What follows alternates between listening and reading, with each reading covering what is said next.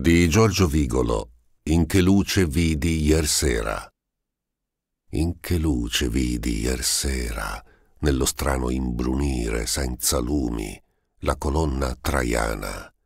Da ponente uno sprazzo fra nuvole piovasche batteva del gianicolo nella sera già buia i verdi boschi e un riflesso scendeva tra la fuga di case delle botteghe oscure al letto dei selciati che parevano acque illuminate.